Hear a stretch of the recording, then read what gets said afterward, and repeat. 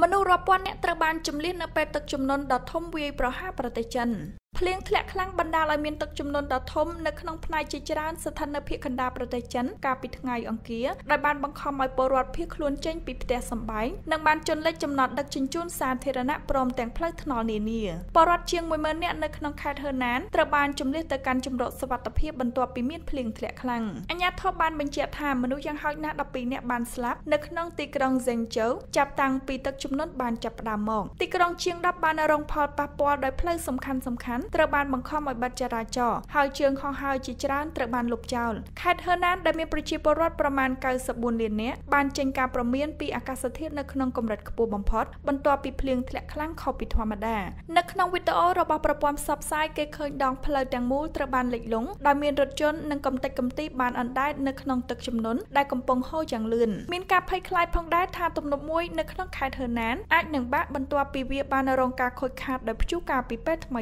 ៗនេះ